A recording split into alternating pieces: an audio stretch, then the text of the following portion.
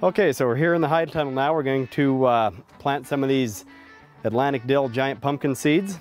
And uh, first thing we're gonna do is get you a container. Uh, this is a four by four, it's good enough, that'll work. We're just gonna fill it with some potting soil here. Nothing special about it, just nice moist right out of the bag.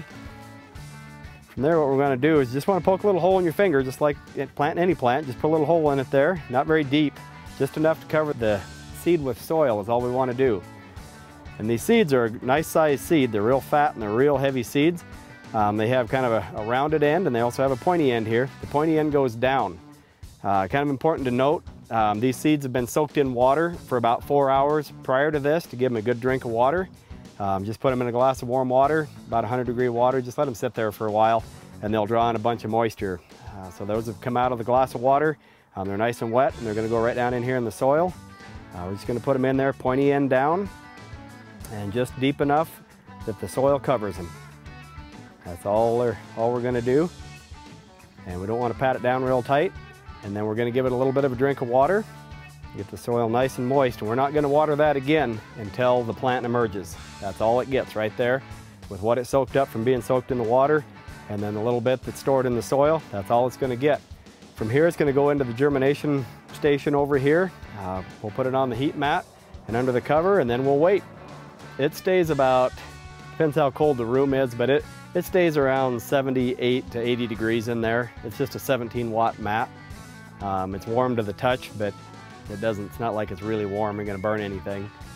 It might be in the 80 degree range is all. And these seeds have been taken about a week. Uh, they've come through the top of the soil, they've emerged, and they're ready to go. Oh, as soon as they come through the soil, uh, we want to turn the grow light on so they've got as much light as possible. Um, otherwise we get a real long, leggy stem and we can run into all kinds of stem problems like that one um, if they don't get enough light as soon as they emerge. So for the first 48 hours after they come through the soil, I like to leave the light on 24 hours a day to get that, that third leaf, that first true leaf to where it's starting to emerge so we don't get a real long stem on it. Plant like this, uh, it emerged about a week or so ago and what we're going to do with it is we'll let him stay in here for maybe another week, uh, someplace around two weeks.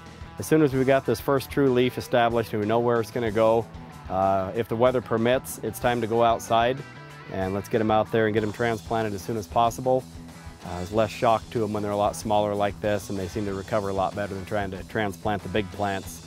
They, they grow fast in here, but it's really hard to transplant them when they get big. They're better to do it when they're small and let them take a hold out in the patch. Bye.